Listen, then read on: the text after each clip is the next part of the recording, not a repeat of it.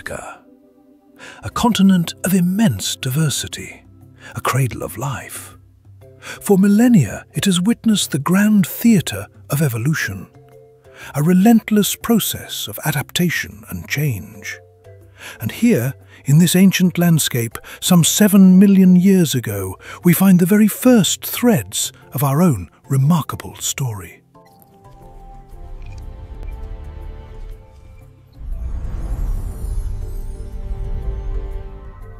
This is Ancient Africa Chronicles, a journey back through time to uncover stories from the cradle of humankind. If you enjoy this exploration of our deep past, please like this video and subscribe to the channel.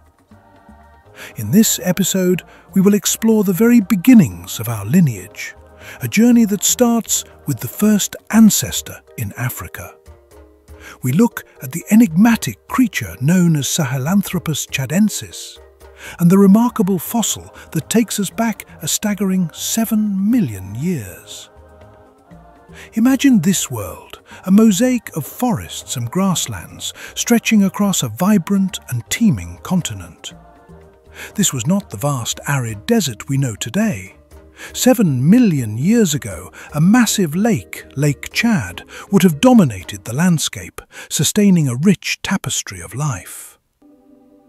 Amongst the ancient trees and in the marshy wetlands lived a creature unlike any other before it.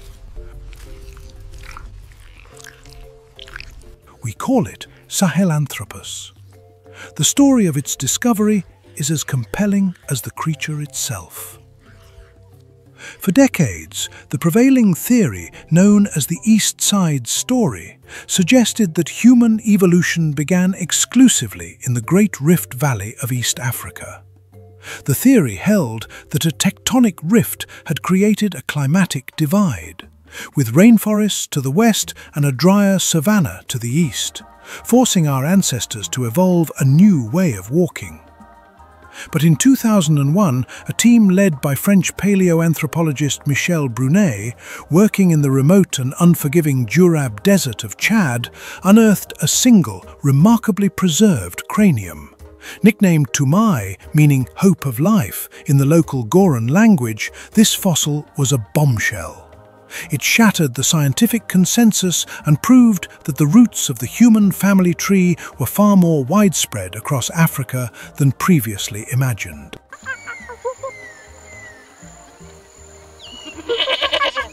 The shape of this ancient skull, the angle of the face, the size of the teeth, even the worn pattern on its jaw, all whisper of a creature on the cusp of change. The most notable feature is the relatively small face and the remarkably human-like size of the canine teeth, which are far smaller and blunter than those of earlier apes. This suggests a change in social dynamics, as large canines are often used for threat displays in apes. But its most profound secret was hidden at the very base. The position of the foramen magnum, the hole through which the spinal cord connects to the brain, is a key clue. In most apes, this opening is positioned toward the back of the skull, a configuration best suited for a horizontal spine, a life of walking on all fours or swinging through the trees.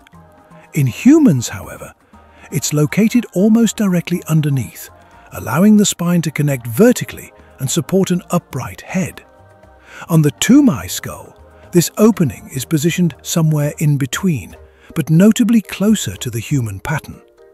This subtle shift suggests that Sahelanthropus may have possessed the ability to walk upright, at least for short distances. This bipedalism, however rudimentary and perhaps not its primary mode of movement, would have been a monumental evolutionary leap. It freed the hands for other tasks, perhaps carrying precious food, grasping branches to climb, or even carrying offspring,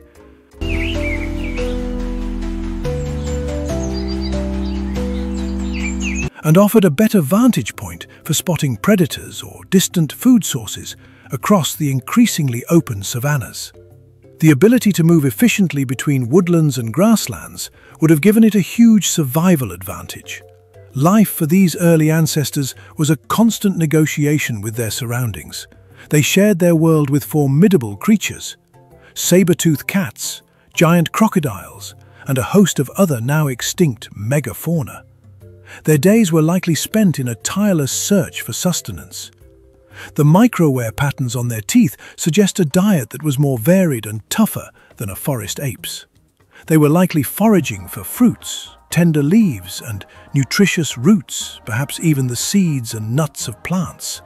A diet that reflects their life on the edge of the savannah.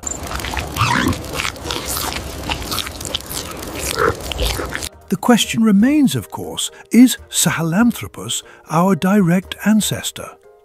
The answer for now is complex. The story of evolution is far more intricate than a simple straight line.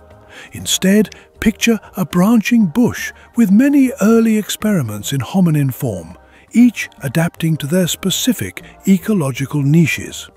Some of these branches died out, while others gave rise to new species. Sahelanthropus is likely a part of this rich, tangled family tree. While it may not be the trunk itself, it stands as an undeniable testament to the deep and ancient roots of our lineage, firmly planted in the rich African soil, millions of years before any other widely accepted hominin fossil.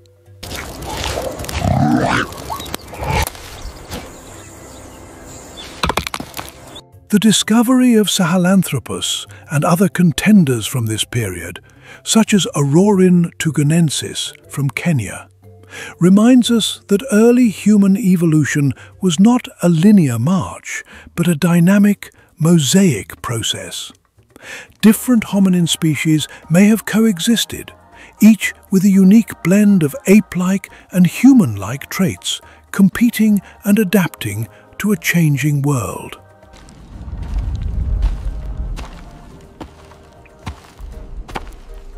This era was a crucible of innovation, where the blueprint for our own species was being tested and refined.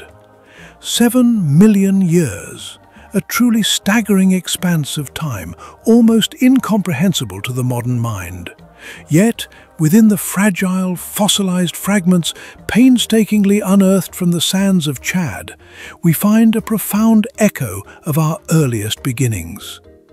The first ancestor we know of in Africa, Sahelanthropus, is more than just a fossil. It is a symbol of our origins, a crucial and enigmatic figure in the long and extraordinary journey of humankind. A journey that began here, on this very continent, and continues to unfold with each new discovery, each new layer of the past we manage to peel back, revealing the incredible story of how we came to be.